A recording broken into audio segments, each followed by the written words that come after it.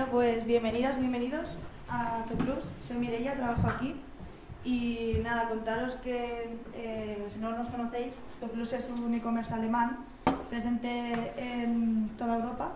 Básicamente vendemos comida para mascotas y nada, el equipo de Madrid está creciendo y necesitamos gente.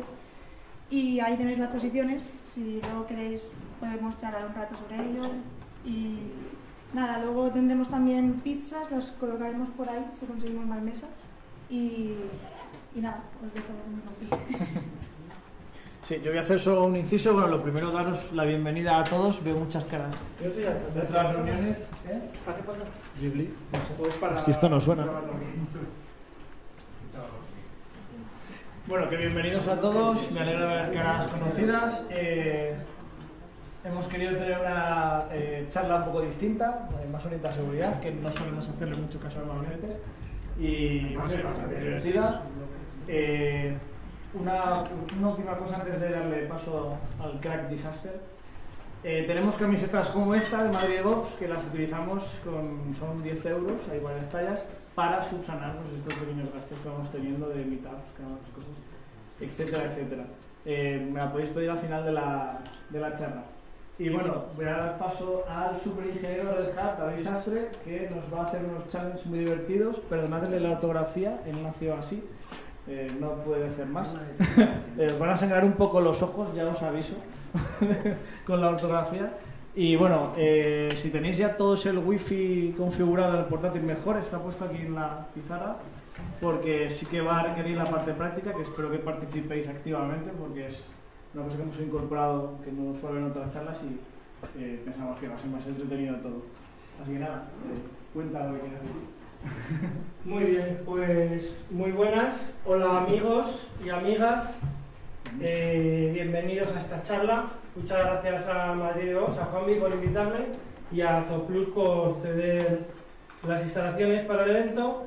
Antes de empezar, shameless plug. Eh, gracias Zooplus por varias cosas, por, darnos el sitio y también porque donáis, no sé si lo sabéis aquí, pero imagino que sí, donáis alimentos y demás goodies para asociaciones. Yo participo en una y hoy me llega a casa dos palés de comida de gatos estupendo y otras cosillas. Así que gracias. Aunque me ha presentado eh, Juan B, pues quiero explicaros quién soy.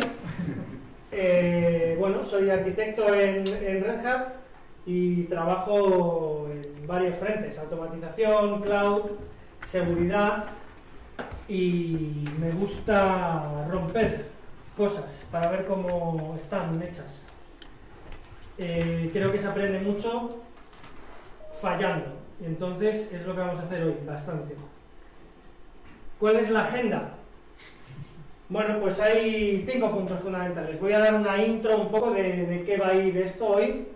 Después vamos a hablar de ética en el mundo de seguridad Después vamos a hablar un poquito y vamos a poner en común cuál es eh, el estado de la industria con respecto a, a, la seguridad, al manejo de seguridad, cómo entendemos la seguridad, qué hacemos con ella, qué no hacemos y deberíamos estar haciendo.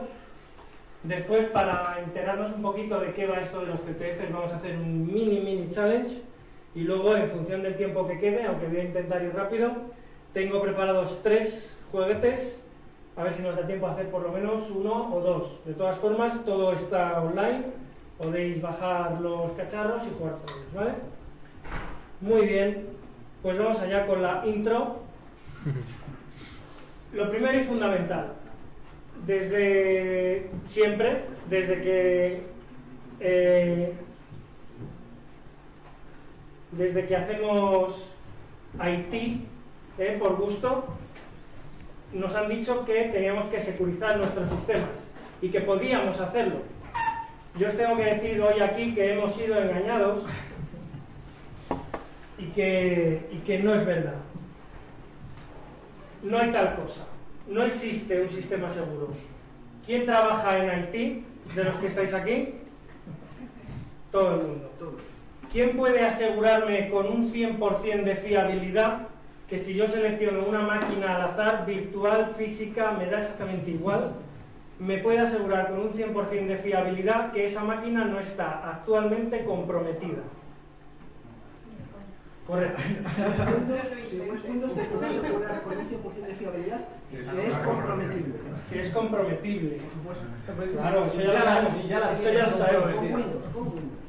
Windows, Linux, Bueno, que- BSD, No, AIX. Solaris y lo que quieras. Entonces, ¿qué es importante de, de asumir esto? Pues varias cosas. Cuando hablamos de seguridad, estamos hablando de muchísimas cosas. Hablar de seguridad es hablar de demasiadas cosas, quizás distintas. Estamos hablando de estamos hablando de hardware, estamos hablando de software, estamos hablando de procesos, estamos hablando de gente, y después hablaremos también poquito, si da tiempo, sobre ingeniería social y cómo el eslabón más débil suelen ser las personas. Y cómo en muchos casos nos enseñan que tenemos que seguir unas reglas, unos benchmarks, por ejemplo el de CIS, ¿quién conoce el CIS benchmark? ¿Quién lo aplica y piensa que está seguro? Bien, eso, exactamente. Entonces, como os decía antes, tenemos que asumir que somos comprometibles, como decía el compañero, porque esa es la realidad. Y lo que tenemos que ser es capaces de reaccionar lo antes posible para mitigar eh, los posibles destrozos que nos puedan ocasionar. Y sobre todo ser capaces de redesplegar aquellos elementos que consideremos comprometidos o de los cuales no podemos decir si están o no están comprometidos. Y eh, última reflexión de entrada, eh, en el mundo de, del manejo de información en general y en cuanto a la postura de seguridad de las empresas, tenemos también que entender que estamos en un escenario que en biología se conoce modelo depredador-presa y que se expresa en, en los siguientes términos. Por cada defensa que nosotros seamos capaces de desarrollar, el depredador, en este caso el atacante, va a desarrollar un ataque que lo supera. Y vamos a estar siempre intentando, bueno, de momento vamos perdiendo, no sé si lo sabéis, la gente que defendemos los sistemas. Pero bueno, hacemos lo que podemos para intentar llegar a mitigar esos problemas dentro de nuestras posibilidades y tiempo. Muy bien, el segundo punto del que quiero hablar es ética.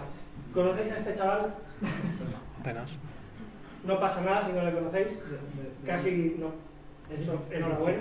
Es, complicado. Bueno, vale, es Chema Alonso. Eh, telefónica. Muy bien, aquí quiero hablar de varios conceptos que se suelen manejar en el mundo de, de la seguridad informática o de gente que trabaja fundamentalmente con ese scope y, y lo titulo sombreros y hacking ético.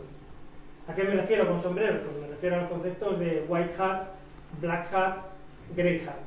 ¿Qué son estos conceptos? Pues básicamente el- aquella persona cuyo interés fundamental es explorar vulnerabilidades en los sistemas para corregirlas. Eso es un white hat. ¿Qué es un black hat?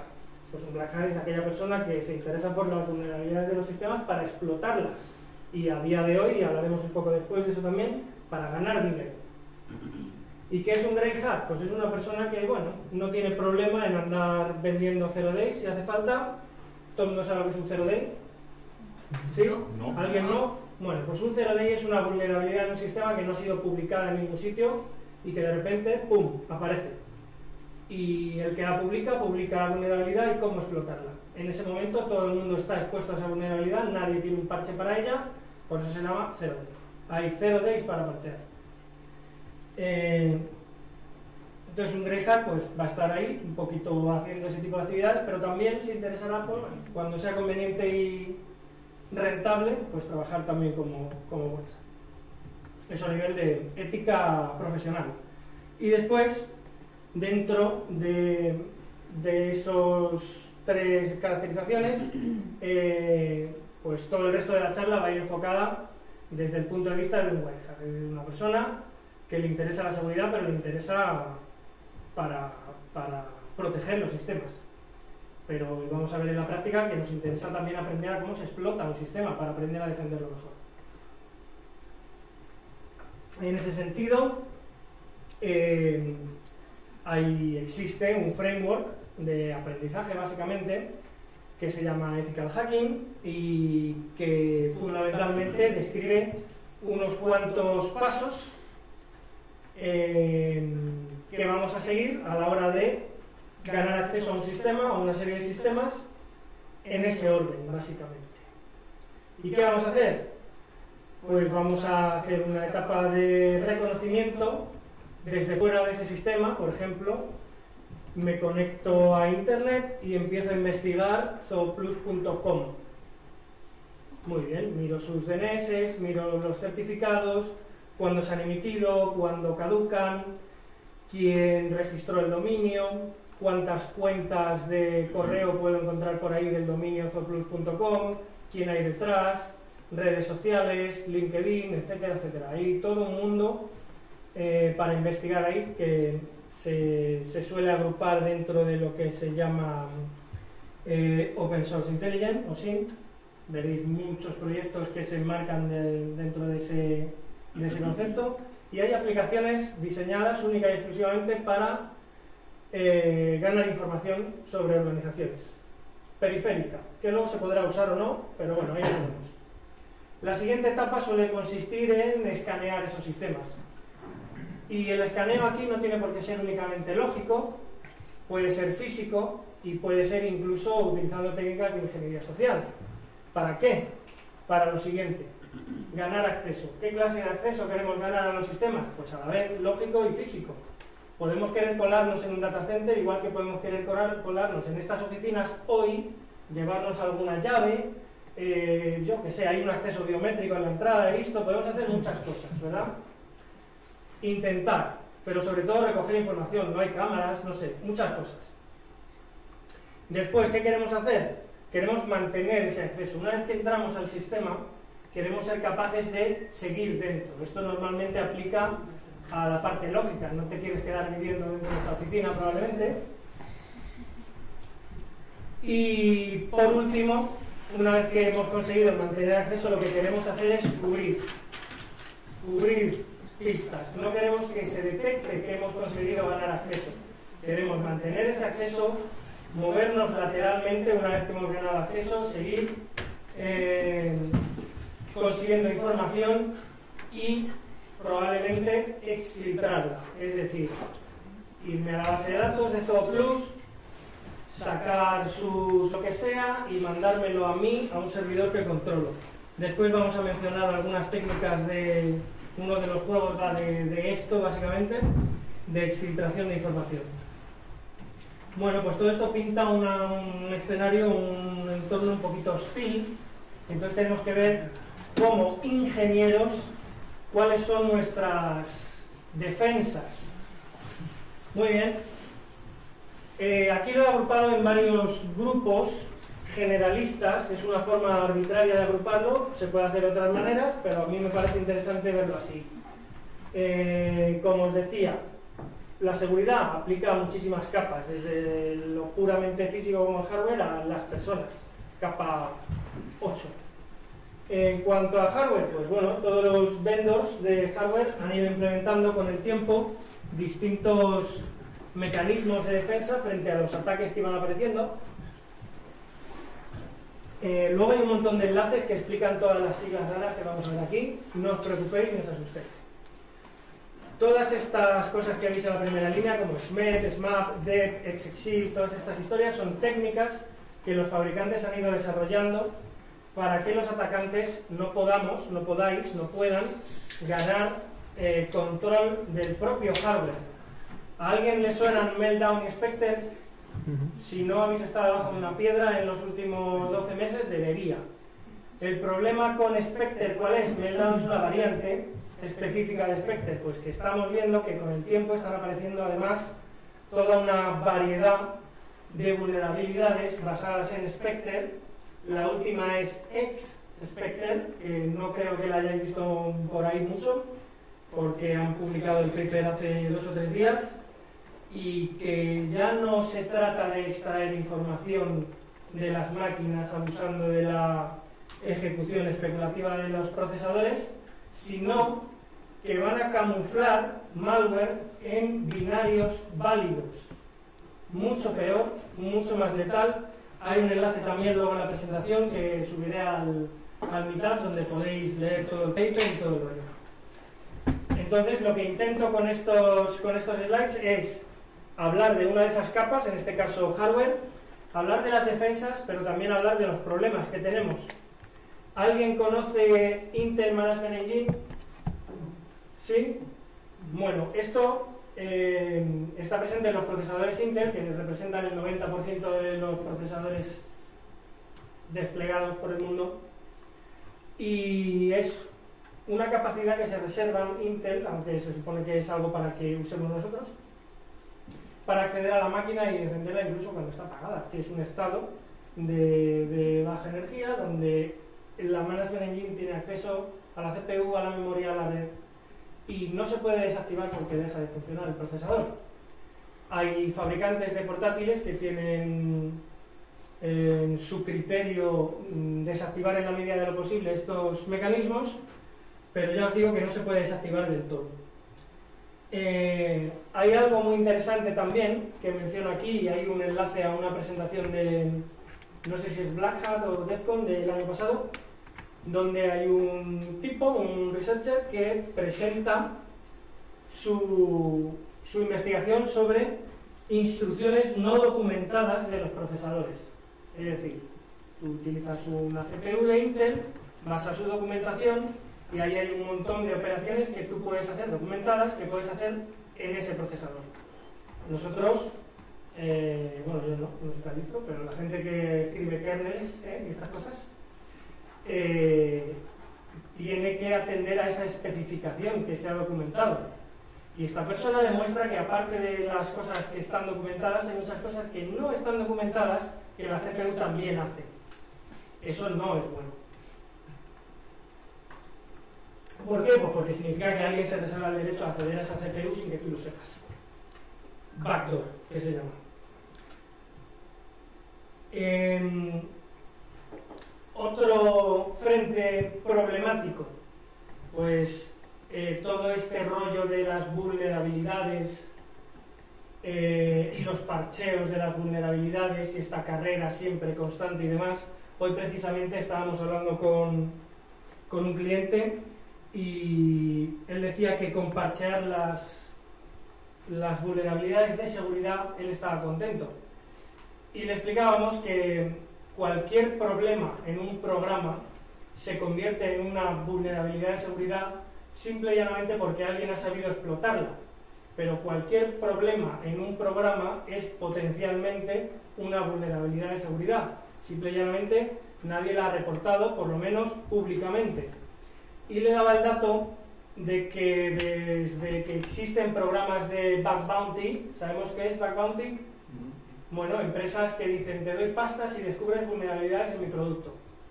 Bueno, pues esto tiene fecha. Te dicen, el Mozilla Bug Bounty es en febrero del año que viene. Todo el mundo se guarda las vulnerabilidades y va al Bug Bounty y cobra. Bien.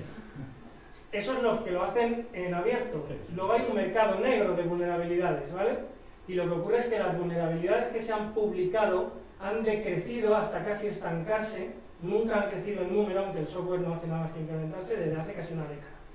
¿Eso qué significa? Que hay un mercado negro creciente y probablemente más grande ya que el no negro. Entonces, ¿qué es lo que tenemos que hacer? Pues tenemos que dejar de jugar a guacamole con las vulnerabilidades de seguridad y tenemos que empezar a implementar soluciones genéricas a los problemas reales. Un problema que tenemos, y es que decimos, bueno, este, este programa tiene un problema en la gestión de memoria X y puedo hacer un buffer overflow y entonces puedo hacer no sé qué. Muy bien, pero eso es un problema específico en este programa. El problema genérico es que existan buffer overflows. Tenemos que solucionar la gestión de memoria de los programas. Para siempre, si se pudiese.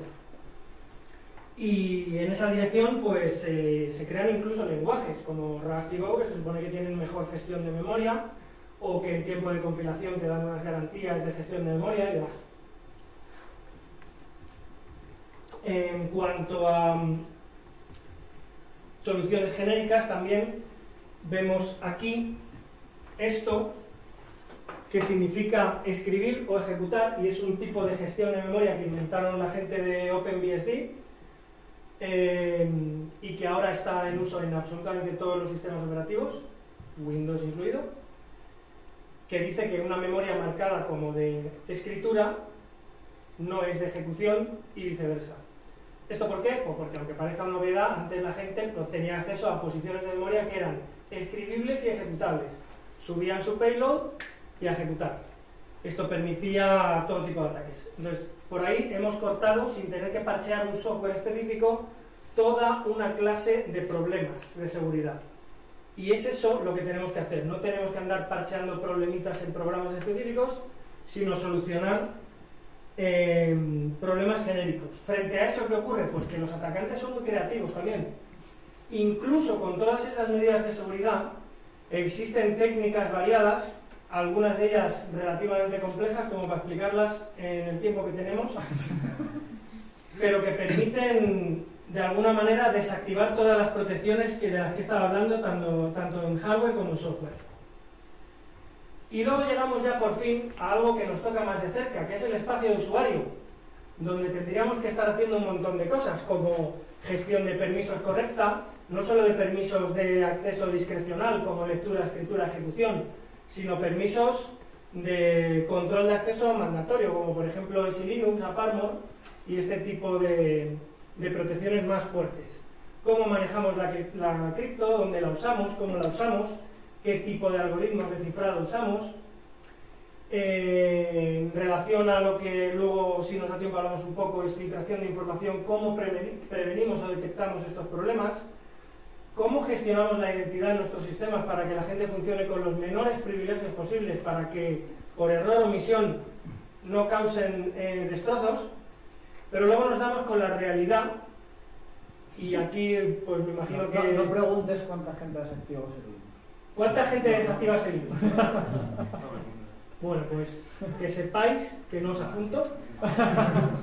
Sistema sin parchear, Selinux deshabilitado, cripto débil, la gente que se lo va con root directamente, la password de root que lleva siendo la misma en el cloud en unos que yo me sé desde hace 30 años, no, no eres tú, es otro Mucho peor.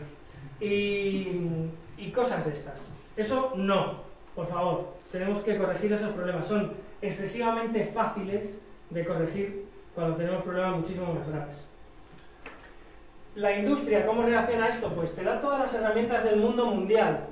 Son casi todo consonantes, pero tenemos que aprender qué significan. Podéis buscarlo. La mayor parte de ellos son diccionarios. Estos son diccionarios de vulnerabilidades, de configuraciones incorrectas, etc, etc, etc que nos describen lo que no tenemos que hacer o lo que deberíamos estar haciendo. No te has inventado ninguno. No hay ninguna inventada. no, hay, no hay ninguna inventada, pero holy shit, si tenemos que aprender todo eso. Exacto. Entonces, esto es lo que os digo. Tenéis un montón de enlaces con ayuda de recursos para investigar posteriormente. Eh, todos esos son enlaces. Vais a poder ver eh, o entender un poco mejor cuáles son esas protecciones en hardware y cómo se hacen bypass. Eh, una muy interesante y divertida que uno hace mucho en discos de estado sólido, en máquinas Windows que usaban BitLocker, pero si BitLocker veía que el disco soportaba cifrado en software, pues no lo hacía y se quedaba todo sin cifrar y cosas de estas. Eh, cosas muy divertidas en las que no pensamos y que nos eh, enseñan un poco a eh, ver que los límites de la seguridad no están tan cerraditos o que aplican a cosas que, no esperábamos. Este ataque es muy divertido. Un ataque sobre hardware basado en power grids. ¿Qué es eso? Pues cogemos el amperaje y el voltaje que se supone que es el normativo para un aparato y empezamos a darle picos de voltaje de para arriba y para abajo y conseguimos que instrucciones del procesador salten. Y esto, si vais al vídeo, es muy divertido porque lo hace un tipo en un, en un USB que tiene cierto código en ejecución que es un loop, un while true de libro, y después hay una instrucción que es un print de un flag, luego veremos para qué usamos los flags en los CTFs, pero básicamente lo que tienes que hacer es salir de un bucle infinito en un pincho USB. Ahí no hay teclado, ahí no hay wifi, ahí no hay nada. ¿Y qué haces? Le, le das chicha o le quitas chicha y consigues que la CPU falle ciclos y sales del bucle infinito. Muy divertido. Eh, ataques a la cadena de, de, suministro de los proveedores de hardware. ¿A alguien le suena a una que hubo no hace mucho donde cierto manufacturer chino metía un pequeño chip sin importancia en unas placas? Una pequeña matización. El, el ejemplo que te has puesto y ahora son casos distintos. El caso que te has puesto, que efectivamente tiene un fabricante chino, ese es el propio fabricante. El fabricante pues, tiene vínculos con cierto partido político, con el gobierno, sí. y tiene que tener un chip. Lo del ataque a la cadena de suministro, por desgracia, es más general. Sí, sí, y, eso, y tengo otro ejemplo más, los, más interesante. En los papers que publicó Snowden, decía que esa es la manera habitual, por ejemplo, de los servicios secretos americanos. Sí. Bien. Eh, para no perjudicar a un fabricante, claro, si todas las cosas de HP llegan al chip, arruino HP. La destrozo, destrozo la empresa, al final le llega a comprar. Yo lo que hago es, no, no, es todo muy bien, pero yo me meto en la cadena de suministro y le meto eh, la cosa en medio. Cuando sé que esa es, es incluso peor, porque lo que ocurre es que los fabricantes tienen normalmente una copia que llaman Golden de un chip, el que sea, una placa, un circuito impreso y demás. Incluso hay gente cuyo trabajo es comparar ese chip Golden con eh, elementos al azar de la cadena de montaje y ver si hay alteraciones o no. Hay un ataque que se basa en la modificación de la sustancia dopante de la placa base que permite alterar las puertas lógicas de la circuitería sin modificar el circuito y no es detectable. Hay un paper por ahí, creo que está en el enlace. Es, eso es maligno al máximo. Y lo que os comentaba, esconder malware en aplicaciones benignas con un ataque basado en especulación eh, de la CPU. Este es de eh, antes de ayer, literal, y lo demuestran con OpenSSL. brutal, brutal. Y bueno, espera, no vamos a ir tan rápido. Sinoli, a ver. Más, ayudas y recursos para investigar. Kernel Set Protection Project. Es un grupo de gente de Google Project Zero y unos cuantos sitios más que están intentando que el kernel Linux tenga eh, mejores defensas genéricas contra estos problemas de seguridad. Hay un developer ruso que ha escrito Sysbot, que es un bot que clona el repositorio del kernel Linux en una rama específica, compila el kernel y hace ataques de phashing, que es básicamente variar una entrada en una función concreta y darte el dato que esperas y el dato un poquito incorrecto, extendido, con terminaciones incorrectas, etcétera, etcétera. Se puede hacer contra syscalls también. Eh, descubre vulnerabilidades, escribe el exploit y lo publica en una web. Y lo hace todo de forma desatendida. Incluso dice cuántos días hace que se ha descubierto una vulnerabilidad y no se ha parcheado. Está ya automatizado. Enlaces que describen eh, mecanismos que tenemos incluso en los compiladores para mejorar la gestión de memoria, como por ejemplo Fortify Source, no voy a entrar en mucho detalle porque no va tiempo si no.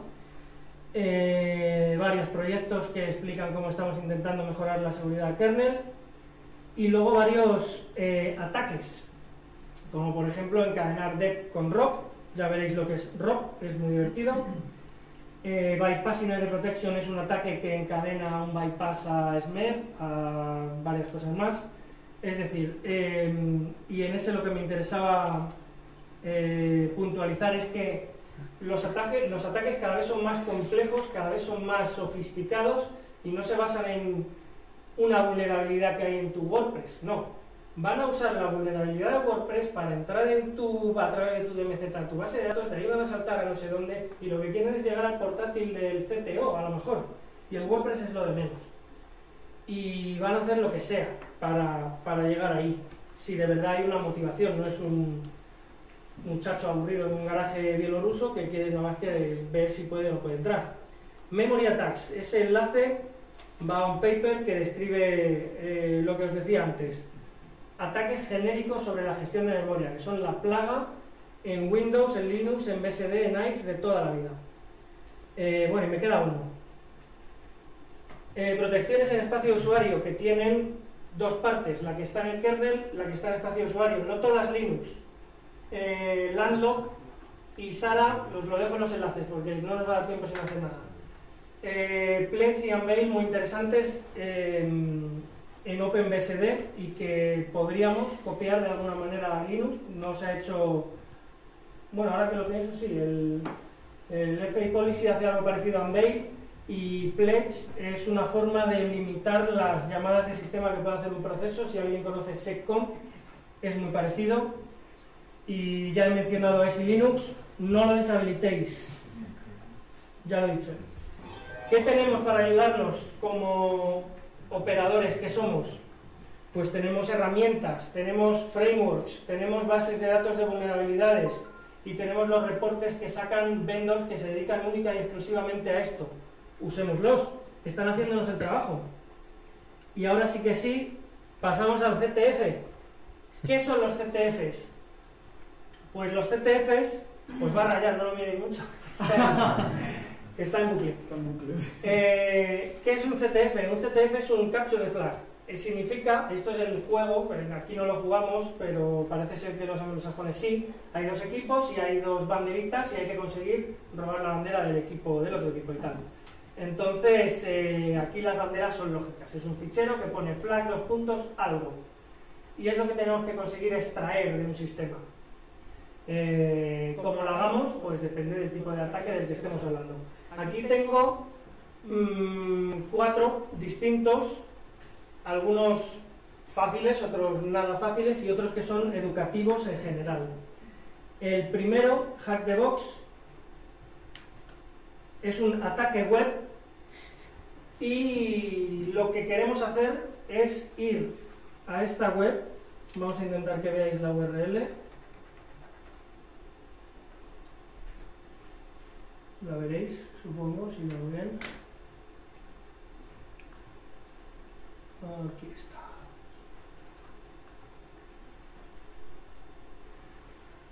hackthebox.eu. Los que tengáis el portátil aquí podéis ir entrando ¿Y esto qué es? Muy bien, esto es una web que aloja eh, CTFs en sí mismo, desafíos, challenges, juegos. ¿Qué tenemos que hacer? Pues lo primero que tenemos que hacer es tener usuario y password para logarnos en, este, en esta web. Así que obviamente no te lo dan, tienes que conseguirlo. ¿Vale? Pistas. Os voy a dar una pista solamente. Tenéis que ir al, login y aquí vais a decir que se os ha olvidado la password. ¿Vale? Normalmente te cuesta unos cuantos clics llegar aquí y ahí dices password reset.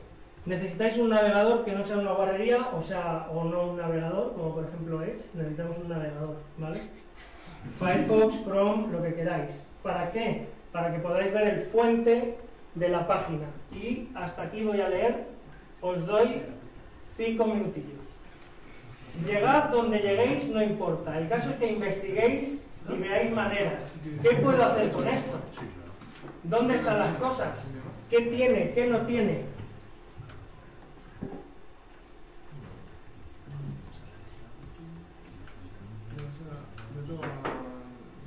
O sea, muy bien. Bueno, lo vais a ver mejor en vuestro navegador.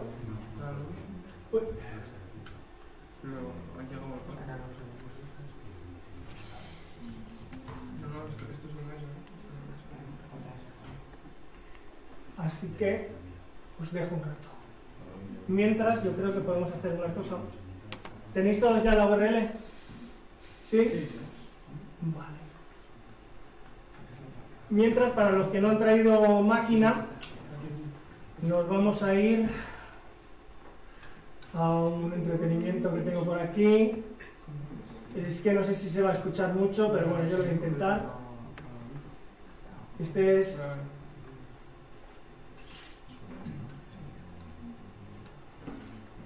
Si carga...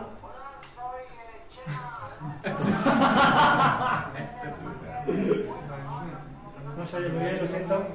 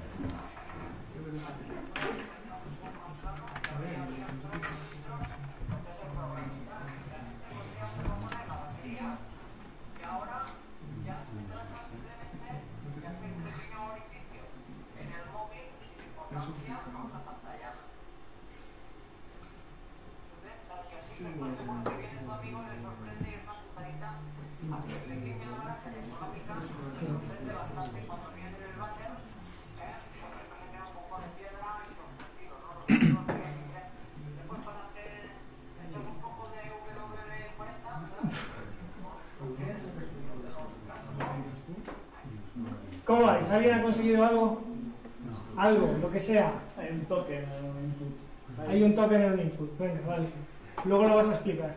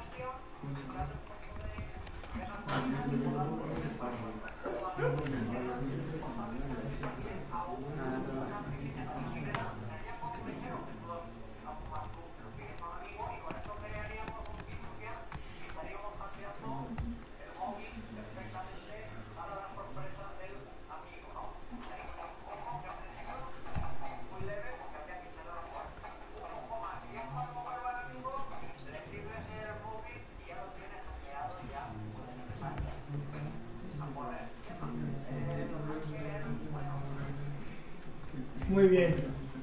Bueno, increíble su técnica.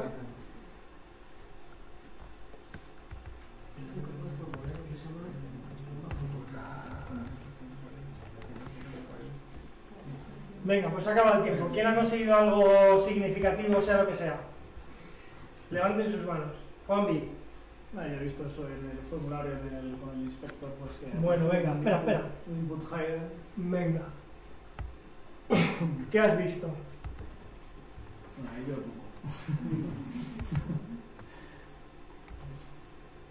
en el formulario, eh, yo creo que ha sido en el, reset- en el botón de resetado.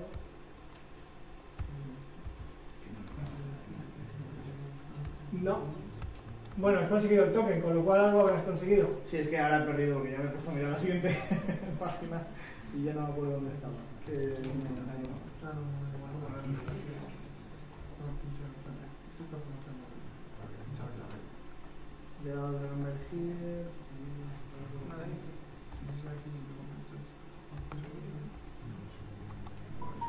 Bueno, básicamente, porque tampoco creas que yo lo veo muy grande aquí. Hay un fichero eh, JavaScript que si bajáis veréis que tiene una función que se llama generar token, generate token, ¿vale? Eh, lo que podéis hacer es en el en la consola de vuestro navegador, básicamente aquí, llamar a esa función y te va a dar una cadena. La cadena está, parece cifrada, pero no está cifrada. O es un encoding más 64 o es ROT13, que es un cifrado de sustitución, de posición, o sea, es un cifrado de mentira. Eso es lo que te va a dar eh, la password que puedes utilizar para, para logarte ahí, ¿vale? Podéis mirar online, porque está publicado ya cómo, cómo destripar esto, eh, hack the box y, y hacerlo, porque incluso sabiendo cómo se hace, es interesante hacerlo por uno mismo, una misma, y ver efectivamente, de este chaval vamos a hablar luego, y ver eh, cuál es la técnica, porque ya os digo que es muy interesante. Eh, bueno, yo creo que nos va a dar tiempo a uno y explico el último mientras. Muy bien, este daré más datos después cuando terminemos en función de cuánto hayamos obtenido de, de información de esto, pero el planteamiento de este juego es muy sencillo. Tenemos ese enunciado, os voy a dar eh, la URL de donde estoy, aquí. Ah, la URL de el repositorio donde está todo esto, que lo tenía que haber hecho antes. Uh, aquí está. Ahora cuando cargue wifi, muy bien. En GitHub lo tenéis ahí. Si os vais a, los challenges, el que vamos a hacer es este, Brain Games. Y lo que queréis es descargaros este Brain. Es una imagen, no sé por qué no se ve, debería verse, aquí está. Es una imagen y ese es el juego. Y después vamos a hablar de qué tiene de interesante, ¿vale? Con el juego vamos a aprender sobre ciertas técnicas. Eh, ciertas técnicas que se utilizan y se llevan utilizando mucho tiempo y los utilizan los malos más que los buenos, ¿vale? Esto tiene que ver con exfiltración de información y cómo no todo es criptografía. Os puedo luego os dar ejemplos, históricos incluso. Venga, ataque. Ahora os pongo otro par de cosas. github.com barra De- no, de- DAWD barra. Bueno, si te vas vas a, Ya, ya, pues, a vale. los repos míos. Es que era donde pone ese de allí arriba ese es H, el- H, y ahí buscas el brain dentro de la réplica de challenges está tienes. pues entonces lo que quiero es que os bajéis la imagen claro porque mirándola no vais a ver mucho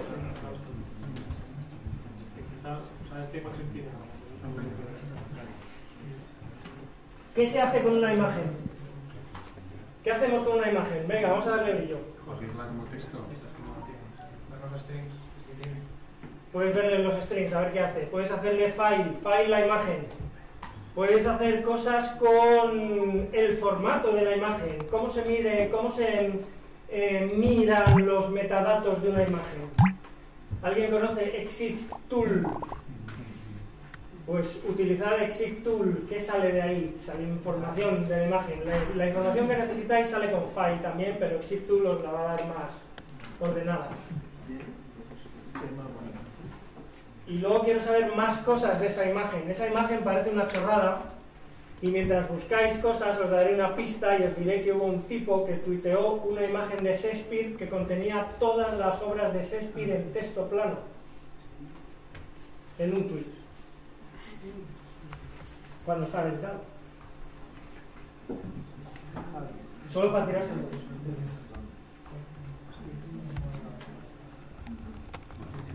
Si no tenéis instalada una herramienta que se llama BingWalk, instaladla. B-I-N-W-A-L-K. BingWalk.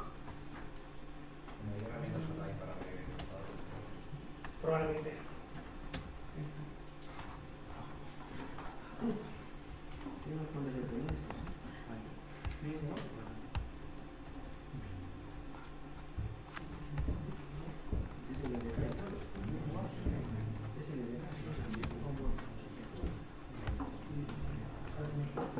No necesitáis el chip tool, con File os vale, pero BingWalk sí que es interesante. ¿Cómo macho se le perdona? Bing, Bing como binario y walk de...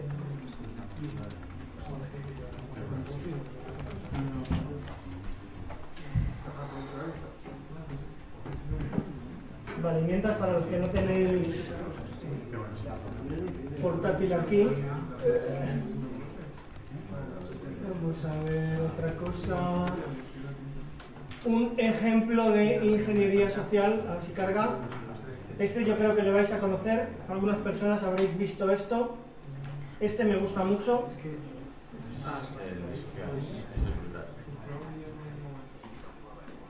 Bueno, este es un tipo, este sí que no se nada, os lo cuento. Quizás a lo mejor puedo poner captions y se vea.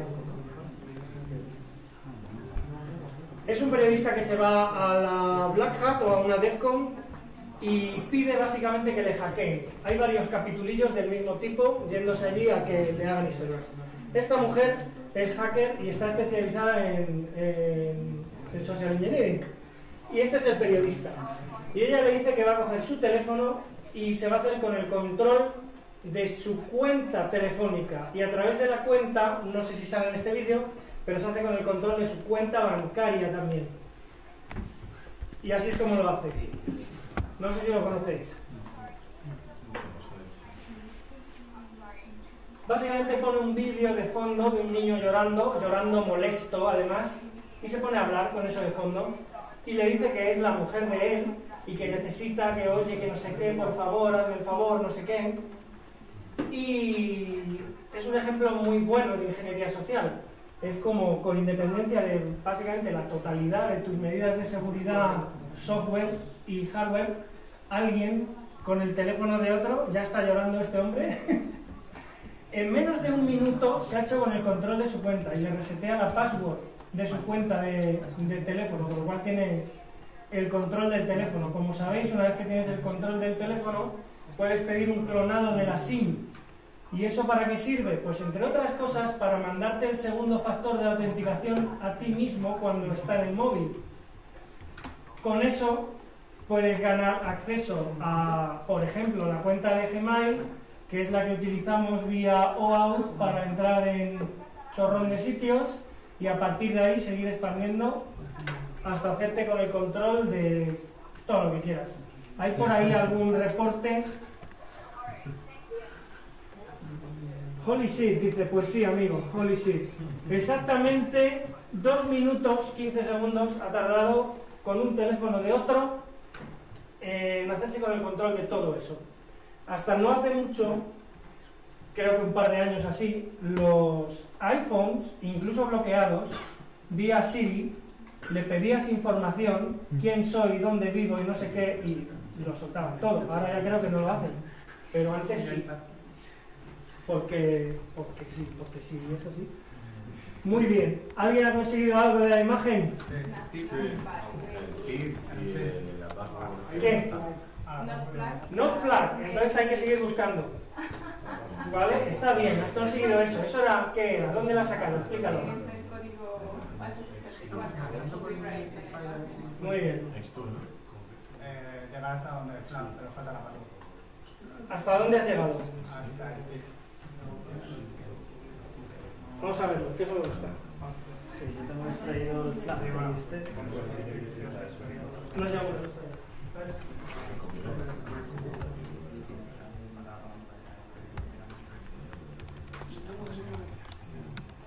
Vale, estás en Ubuntu, eso es un strings del cacharro, hazle file, ¿Lo has hecho file? Muy bien. Plus.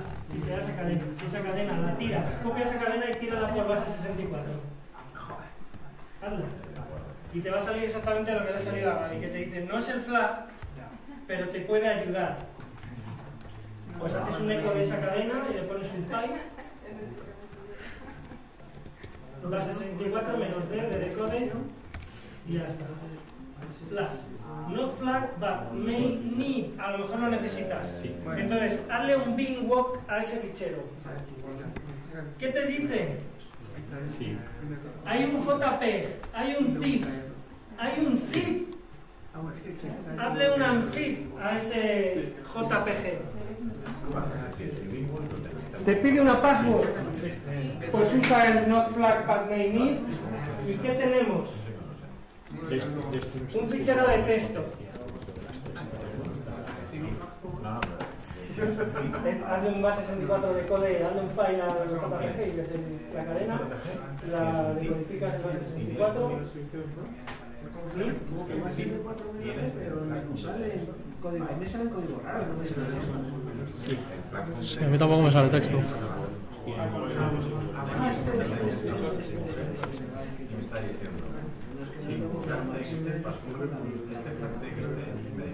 me sale el texto. Eso, es esa cadena. Si haces un eco de esa cadena,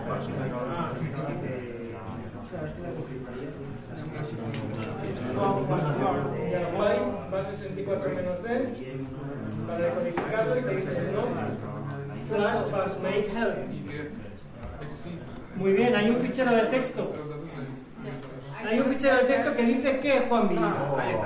I found what you're looking for, but you know me better than that. You have to look deeper in order to find You have to look deeper. Y dice layers of obfuscation. Hay más capas todavía. Entonces, ¿qué está ocurriendo?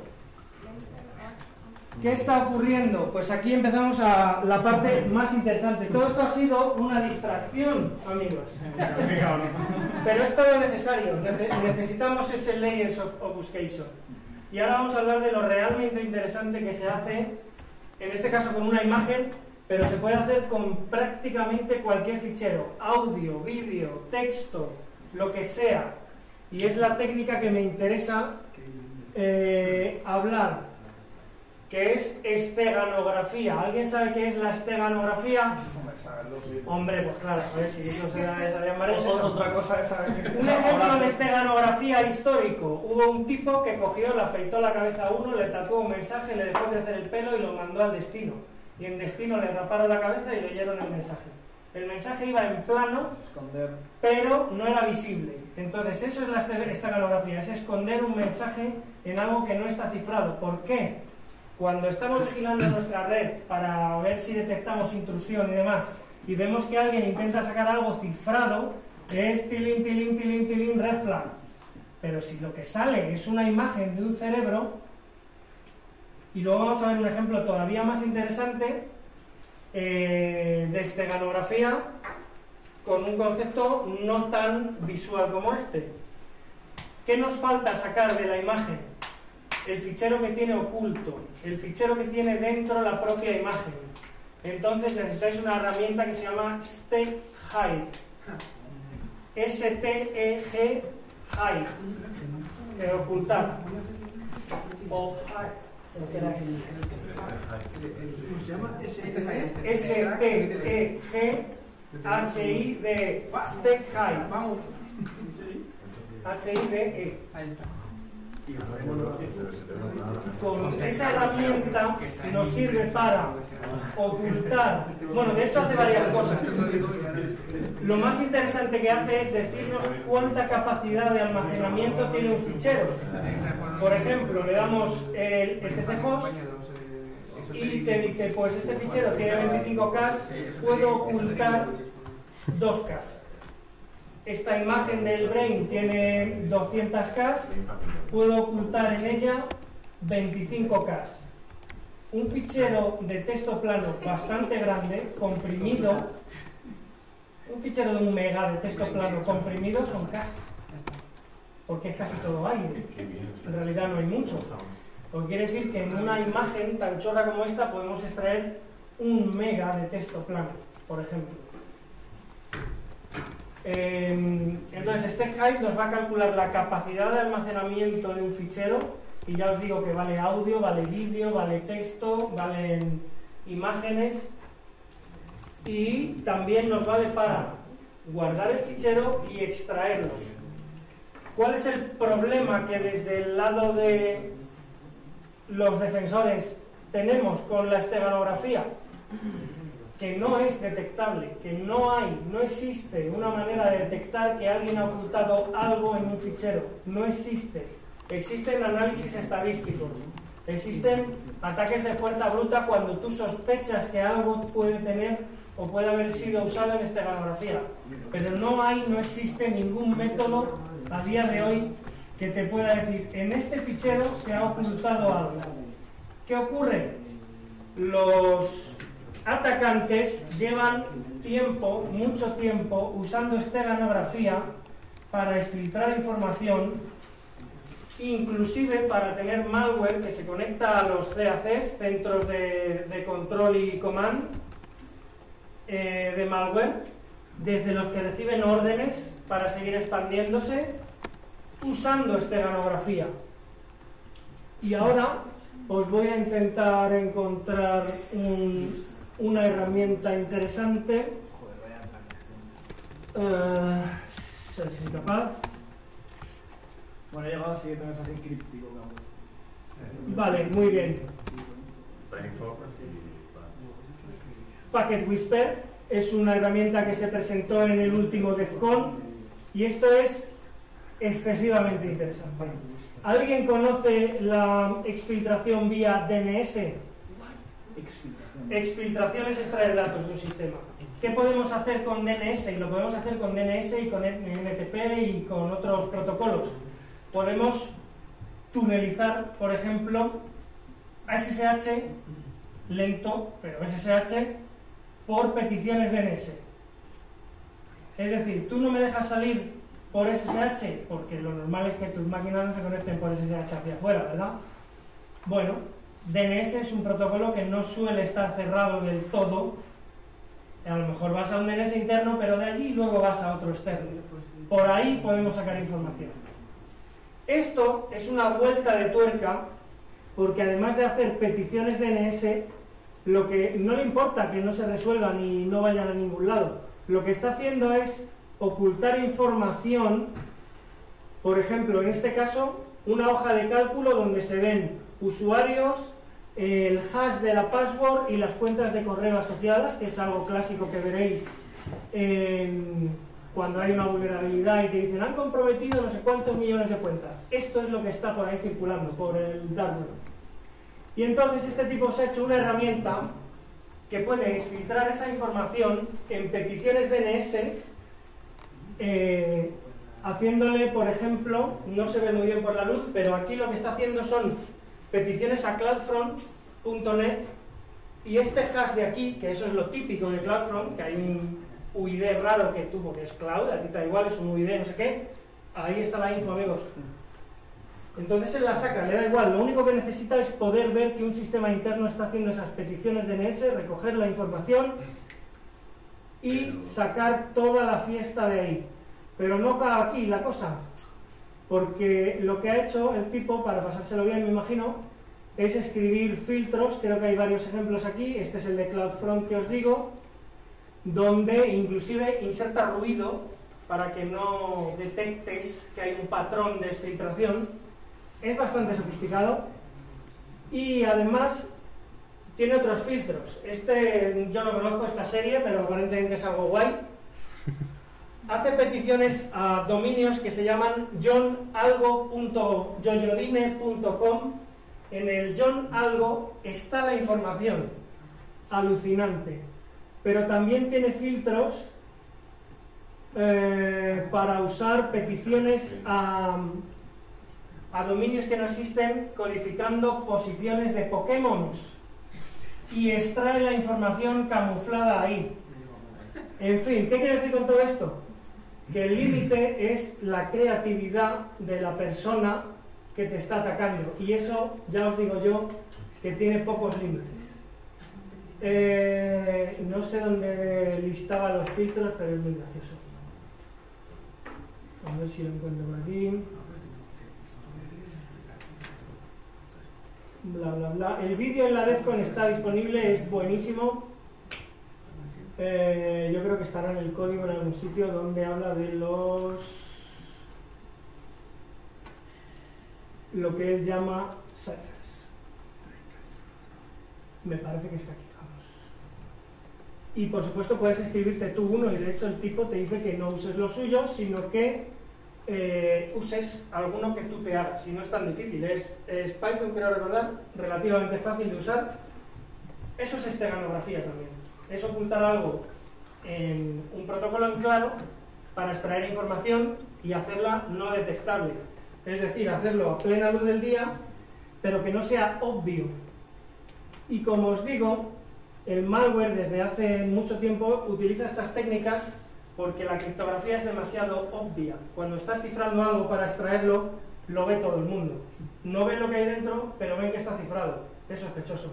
Si sacas peticiones DNS o haces NTP hacia no sé dónde, difícil, muy difícil. Ni siquiera detectarlo. Si lo detectas es prácticamente imposible, sin fuerza bruta, eh, extraer la información real que se estaba intentando exfiltrar. Como mucho puedes decir, esto es sospechoso, tengo que chaparlo. Pero hasta ahí. ¿Alguien ha terminado el lío? ¿A qué has llegado? Brain Games Alpha. Brain Games Alpha. ¿Y cómo ha sido? Porque, bueno, con lo del Esoteric Programming Language, ¿Sí? eh, he buscado que era un Esoteric Programming Language, acabo de flipar, por cierto. ¿Sí? Eh, Muy bien. He hecho control F, Brain, y he encontrado uno que se llama dicho BrainFuck, sí señor, el lenguaje de los campeones. Se escribe con básicamente cuatro o cinco caracteres que van, posi- van modificando la posición de memoria del puntero. Es una guarrería horrible. ¿Y qué es? Es un lenguaje esotérico. Nadie programa en eso, es un lenguaje de programación de diversión, ¿vale? Por eso se llama BrainFuck, porque eso es lo que va a hacer con tu brain. Ahí dentro hay un mensaje de texto, ¿verdad? Muy bien. Son cinco capas de ocultación lo que hemos hecho. Hay una cadena en- codificada, no está cifrada, podía estar cifrada, pero solo está codificada y nos da la password de un zip que está oculto en la imagen que nos da un fichero de texto que nos da una pista para descifrar otra cosa, ¿vale? Muy bien. No está mal, no está mal. Enhorabuena. Tenemos más. Lo siguiente es una bomba binaria. Este es muy bueno. Este es muy complicado y no lo vamos a hacer, solo lo voy a contar, luego tenéis los enlaces. Y esto es lo que la gente que trabaja en eh, análisis forense realmente es, su pan de todos los días. Es conseguir samples de malware y analizarlo. El malware no viene con el código fuente, ¿eh? para sorpresa de todos, está ofuscado, no tiene símbolos, para el que sepa lo que es, son indicadores de qué hace el código. Eh, intenta, en algunos casos, el propio código muta en ejecución, con lo cual eh, no estamos mirando al mismo código todo el rato. Y lo que tenemos que hacer es analizar qué hace, cómo lo hace. Por ejemplo, WannaCry. ¿Alguien sabe qué es WannaCry?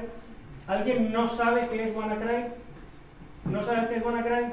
WannaCry es un ransomware, que es un malware, un virus, que estuvo infectando y seguirá infectando máquinas Windows y lo que hace es cifrar ficheros y pedirte pasta para descifrarlos. ¿Cómo se consiguió desactivar, vencer WannaCry? Pues analizando el binario que encontraron en la máquina o alguno de los binarios que encontraron en la máquina y descubriendo que hacía una petición a un dominio DNS que necesitaba conectarse a ese dominio para proseguir con el ataque. La gente bloqueaba ese dominio y se acababa el ataque. Eso se pudo hacer porque hubo alguien que se sentó delante del binario hizo análisis. Ese análisis de un binario no se hace en ejecución. Tú no coges un virus y lo ejecutas a ver qué tal funciona. Tenemos que hacer análisis estático. Y ese análisis estático se hace con debuggers. ¿Alguien conoce GDB? O XDB, si funcionáis con ICE y esas cosas. Bueno, pues ¿qué hacemos con eso? Cogemos un binario y hacemos disassembly. Aquí ya entramos en materia oscura y por eso no vamos a ir a todos los detalles. Tenemos eh, desensambladores o analizadores de binarios muchísimo más potentes, como por ejemplo Radare. Radare es de, ¿cómo se llama? El Pancake, ese. Ese tío es la bomba. Eh, tiene debugger, tiene eh, o te puede generar el diagrama de control de flujo de un binario. Podemos analizar el binario en bastante detalle. Vamos a ver si podemos hacer un poco el... bueno, a ver. Ahí me veis, ¿no? Muy bien. Si yo me hago, por ejemplo... barra- esto es mucho. Un radar de 2D. Challenges. Por cierto, esta bomba binaria que pongo aquí para jugar es algo que utilizaban, creo, no sé si es mito o realidad, en entrevistas de gente que iba a entrar a currar en, en esa universidad. ¿Vale? Bueno, aquí tengo el, el binario y tengo la del código fuente, porque estamos hablando de que es educativo. Si fuese malware de verdad, no tendríamos el código fuente. ¿Vale? Se lo doy a Radare y a Radare le puedo pedir los comandos de Radare, esto es un poco esotérico, ¿vale? Entonces no vamos a... Podemos pedirle que lo analice, ¿vale? Eso que veis en el prompt es la posición de memoria del entry point del binario, ¿vale? Esto es, es- es bastante heavy, por lo tanto no vamos a ir a mucha, mucha fiesta. Es gracioso que si te pasas pidiéndole análisis, te dice que un developer de Radar va a venir a tu casa a hacer analizarlo por ti. o sea que no te pases con el AAA que no tiene más. Eh, ¿Qué podemos hacer? Vamos a ver si me acuerdo. Podemos irnos al main y todo esto que es es el entry point, o mejor dicho, el disassembly del entry point de ese binario, ¿vale? Lo estamos viendo en, en ensamblador, ¿vale? No tenemos el código fuente, lo único que podemos hacer es decompilar el binario, o bueno, mejor dicho, disassembly del binario y ver qué hace, cómo habla con, con la máquina, ¿vale? Eh, si era así o así, así, muy bien. Esto es el equivalente a un ELF reader. ELF es el formato del binario en x86 y aquí nos va a dar los nombres de las funciones a las que tiene acceso y es lo que os digo, este binario es educativo, las funciones tienen un nombre legible humanamente. Si fuese malware, las funciones serían un UID random y te tienes que buscar la vida a ver cómo es la cosa. Esto es un volcado hexadecimal y luego eh, podemos hacer algo muy interesante que es tener bueno, esta no me ha quedado muy interesante en realidad. Vamos a intentar ir otra vez al main. A ver si soy capaz. Bueno, tendría que investigar un poquillo. Bueno, aquí lo que podemos hacer es pintar en estas cajitas el diagrama de flujo del binario. Es decir, si una función llama a otra función, si una función retorna a quién retorna, dónde retorna y demás. Esto nos pintaría el diagrama de flujo del binario. Todo esto es sin ejecutarlo, recordadlo. ¿eh? Y podemos ir incluso iterando por una supuesta ejecución y qué ocurriría si la entrada de esta función fuese A, B o C. Eh, más interesante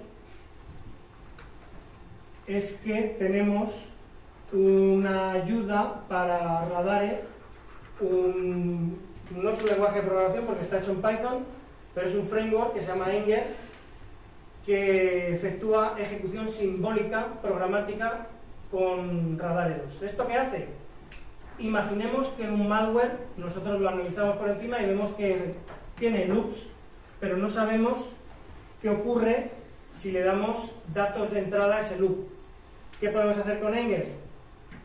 Programar la ejecución simbólica, simbólica porque no es una ejecución real, no estamos ejecutando nunca el binario, estamos emulando lo que ocurriría eh, emparejando el análisis que hacemos con, con datos que le demos nosotros controlados, iterar sobre el binario. ¿Vale? Eso nos permite eh, establecer cómo se comporta y analizar ese binario como si lo estuviésemos ejecutando sin ejecutarlo. Eso es eh, interesante sobre todo cuando tratamos con software hostil. No puedes ejecutarlo, ni siquiera en una máquina virtual. La mayor parte del malware sabe escaparse de máquinas virtuales, entonces no se hace. Eh, hay enlaces aquí donde vais a ver eh, lo que llaman walkthroughs, que son explicaciones paso a paso de cómo eh, desactivar esta bomba binaria. Esta bomba binaria, por cierto, es muy divertida eh, porque lo que hace es esto. Te da un prompt, bienvenido a mi bomba, tienes que desactivar seis fases y se queda esperando entrada. Si pones una entrada que no es correcta, ¡pum! Cada una de las fases se desactiva con una frase distinta. En algunos casos son palabras, en algunos casos son números, y a veces la frase que te da es útil, otras veces no. Es un juego en general, y bombas binarias hay muchas, pero esta es muy clásica, y ya os digo, en el walkthrough vienen explicadas incluso de varias maneras distintas cómo hacerlo, por ejemplo, con GDB pelado y mondado, cómo hacerlo con Radare y cómo hacerlo con Radare y Engel, para que veáis comparativamente eh, distintas metodologías. Eso requeriría mucho tiempo, estamos fuera de tiempo, pero aún así quiero llegar al ataque web avanzado. Este es el más interesante a nivel educativo. ¿Por qué? Esto es una herramienta que han desarrollado la gente de OWASP. ¿Sabemos quién son OWASP? ¿Todo el mundo lo sabe, más o menos? Bueno, para que no lo sepan, es una entidad sin ánimo de lucro que se dedican a promover buenas prácticas en cuanto a la seguridad de aplicaciones web. Y publican de todo, papers, código, best practices, lo que queráis. Y en este caso, eh, en este ejemplo concreto, de lo que estamos hablando es de una aplicación web que se llama Shop, la tienda de zumos. ¿Qué es la tienda de zumos? Pues es ni más ni menos que una tienda de zumos online, ¿vale? Esto es parecido al juguete de antes de Hack the Box. Esta aplicación tiene, no sé si son 100 vulnerabilidades. Entre todas ellas, vamos a ver, ah, yo creo que aquí, esta aplicación está básicamente diseñada para aprender sobre vulnerabilidades, ¿vale? No, este no es el que quiero, esa es la homepage del, proyecto. Eh, aquí, esta es la que quiero. Hay un Gitbook donde explican absolutamente todo, desde cómo desplegarla tú, em, cómo alojar un CTF para tus amiguetes, montas esta aplicación, la propia aplicación eh, te va a dar un apartado en, la web para que la gente que vaya encontrando y reventando vulnerabilidades obtiene el flag, igual que en los juegos de antes, puede subir esos flags al scoreboard y los distintos individuos, individuos o equipos van sumando puntos. Ese es el CTF en general, ¿vale? Esto puede ser algo que se haga durante un fin de semana, se deja online, la gente lo va reventando y demás está completamente documentada. Eh, a ver si soy capaz de encontrar lo que quiero. Esto es. ¿Cuántas vulnerabilidades tiene la USOP? A ver si lo puedo subir esto un poquito de fiesta. Pues tenemos eh, muchas. Triviales, o que esta gente considera triviales, como por ejemplo un ataque de cross-site scripting al DOM con un iframe. Eso para ellos es trivial. Oye, esto es así. Acceder a la sección de administración, relativamente fácil. Lo único que tienes que hacer es empezar a poner cosas en la URL, a ver si cuelan. Por ejemplo, barra admin, ¿no? Y va y cuelga. Muy bien. Em, estas son triviales, y es verdad que son triviales. Luego, los que consideran fáciles, y ya os digo, está totalmente documentado, tenéis incluso pistas o la solución completa, ¿vale? Eso quiere decir que la idea de esto no es que vayas pinchando en la solución y haciendo, ¡Ah, paso todo! No. Es, te pegas con ello, te desesperas un poco, le das a las pistas, te sigues pegando con ello, no doy con la fiesta, me da igual, voy al siguiente. Se trata de aprender, ¿vale? Si te lo destripas a ti mismo, pues no le engañas nada más que a ti ¿vale? Tiene un montón que consideran fáciles. Hay unos cuantos eh, de dificultad media, como por ejemplo conseguir logarse como el usuario administrador, conseguir logarse como vender o gym, etc, etc. Para lo cual hay que robarle la password. Eh, y luego empezar a hacer cositas con, con la base de datos también, hay alguna. Difíciles, también las hay. Y os digo, igual, las pistas y las soluciones, todas disponibles. Por cierto, que la USOP la puedes montar en una máquina virtual en un container Docker. Bueno, container Linux, voy a decir, no tiene que ser Docker. Eh, lo puedes hacer en tu propio portal. O puedes usar la que está online, ¿vale? No tienes por qué desplegar nada. Esa está completamente funcional y es exactamente igual. Eh, un montón. Ataques de inyección, SQL y no SQL también. Resetear la password a usuarios que no son los tuyos. Esteganografía, ya sabemos lo que es eso. Cross-site scripting, pero más duro. Y estos son muy difíciles, muy difíciles. Alguno habrá que los haga. Pero bueno, hay bastantes. Y luego están los difíciles del todo. Yo aquí ya nada, no llevo. En fin, que sepáis que esto es un recurso súper útil. Y para terminar, ¿por qué hacer todas estas cosas? ¿Qué hacemos? Bueno, sobre todo aprender, ¿no? Eh, pero luego hay algo que podéis hacer y es aplicar todas esas técnicas a vuestras propias aplicaciones. Coges una eh, instancia de tu aplicación en un entorno probablemente no productivo, quizás también productivo, ¿por qué no? Y la atacas. El ataque puede ser sabiendo cómo funciona la aplicación o sin saber cómo funciona la aplicación. Es lo que llamamos eh, black box o white box. Si tienes acceso al código fuente de la aplicación y sabes cómo funciona, es relativamente más fácil atacarla. Pero también es interesante que alguien que no conoce la aplicación la intente atacar. Eh, y os vais a encontrar muchas cosas. También os recomiendo en los ciclos de desarrollo de vuestras aplicaciones, me imagino que todo el mundo más o menos está ya en un mundo donde hay algo como integración continua, deployment continuo o está extendiendo a ello. Incluir estos elementos. Hay herramientas para hacer eh, este tipo de ataques de forma programática, a ciegas, desatendido. Despliegas la aplicación y la enchufas. Es otra de las herramientas además de OWASP. Se llama ZAP Proxy, ZAP. Esta se puede incluir, y de hecho hay un plugin y todo para Jenkins, y puedes desplegar tu aplicación y enviñarle con ZAP, y que te dé un reporte de lo que encuentra, y encuentra cosas. Y como estas hay más, Arachni hay muchas. Buscadlas y, y utilizadlas, sobre todo utilizarlas en vuestras propias aplicaciones. Eh, pero esto aplica también a sistemas operativos. Atacar vuestros sistemas operativos, ver si podéis eh, eludir las medidas de seguridad que vosotros mismos habéis puesto ahí.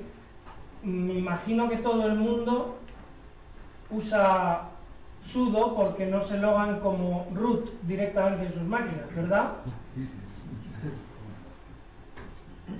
¿Cuál es la razón real de eso? Que no, no acabo de entenderlo. ¿Cuál es?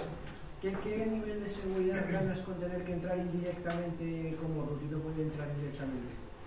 Que el nombre del usuario root no lo conozca todo el mundo, por ejemplo. Que El nombre del usuario root lo sabemos todo el mundo. Y el otro nombre es un nombre que es tuyo, entonces tienes que saber un nombre. además contraseña. Esa No, no es tu identidad.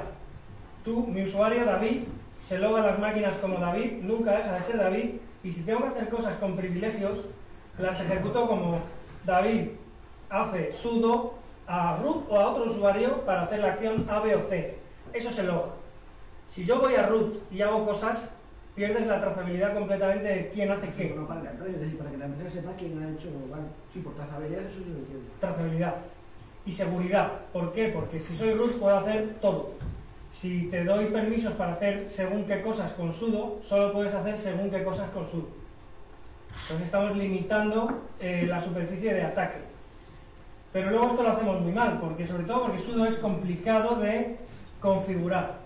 Entonces, si os digo comandos y os pregunto si dejaríais a alguien hacer sudo como root a ese comando y me decís sí, eh, vamos probando. Por ejemplo, sudo b. ¿Alguien dejaría hacer sudo b? No, ¿por qué?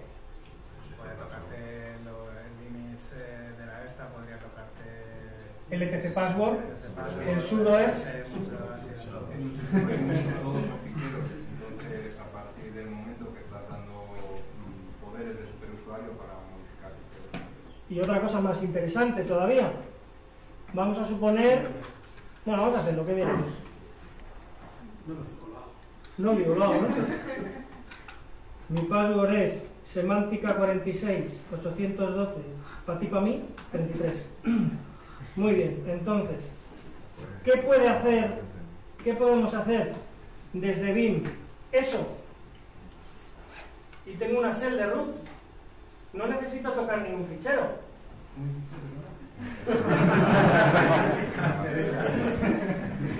Estoy en BIM. BIM tiene un comando que es admiración para ejecutar comandos. No estoy saliendo de ningún sitio. Estoy ejecutando un comando. Igual podría hacer cat etc password plus.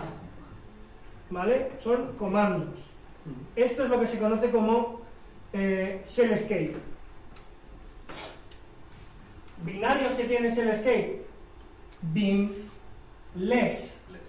Si tú dejas a alguien hacer sudo less y no configuras correctamente ciertas variables de entorno, de less me voy y me voy con una shell de root.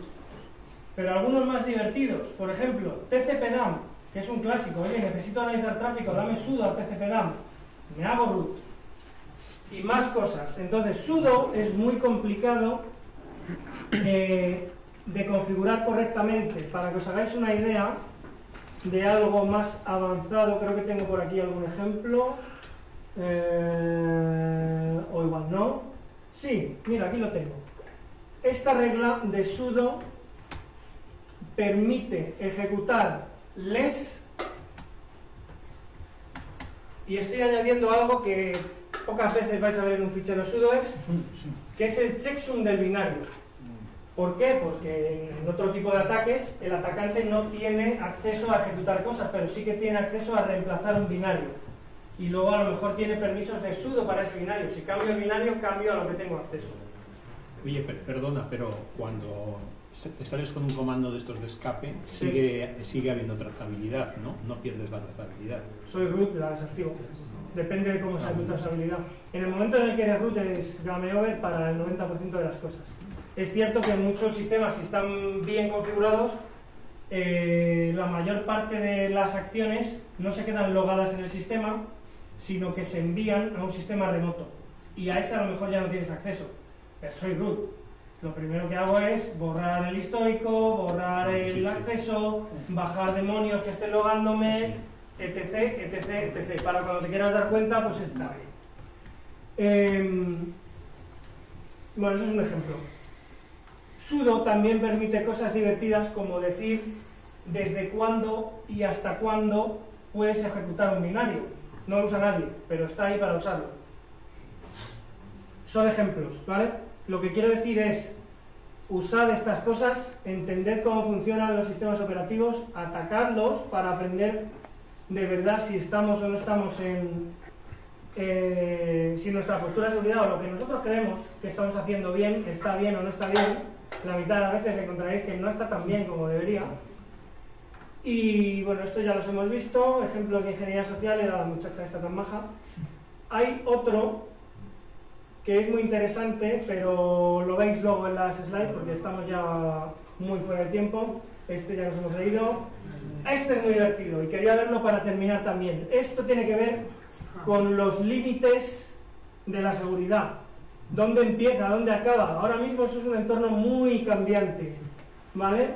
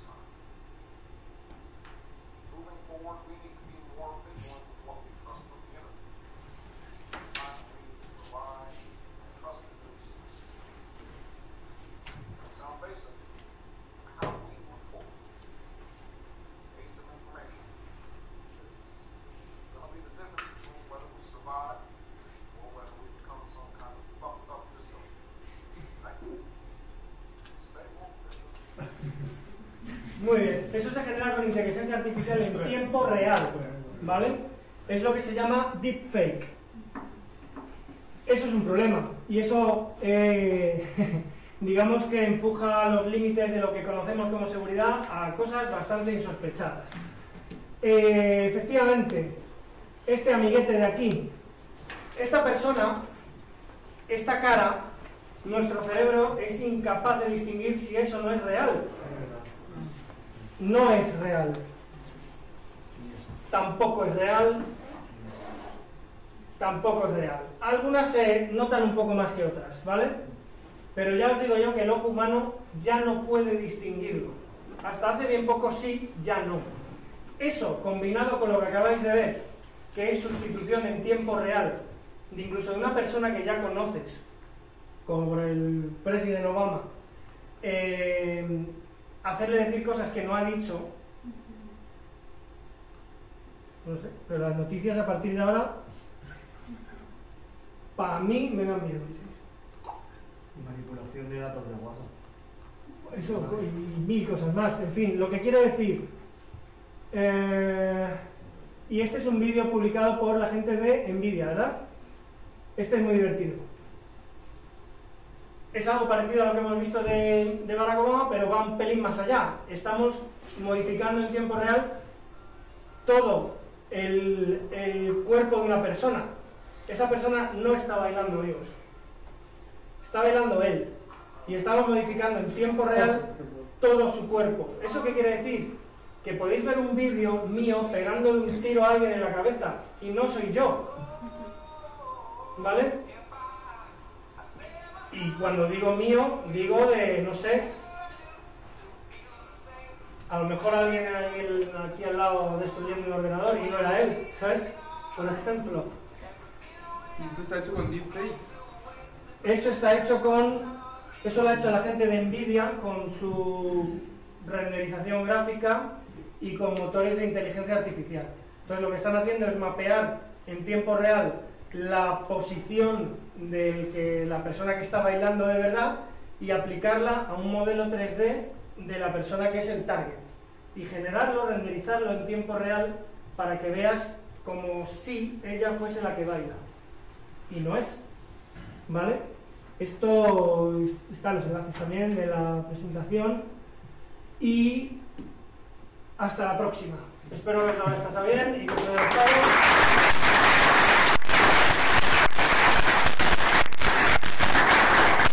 Bueno, Si queréis hacer preguntas y tal mientras comemos la pizza, yo voy a estar por aquí un rato todavía. Sí, mientras hacemos solo que llaman de ¿La presentación dónde va a estar? Eh, la subo al, Vamos a al- poner en, en madridvox.es si no hay acabado la charla, hay un enlace arriba y los ficheros vídeo.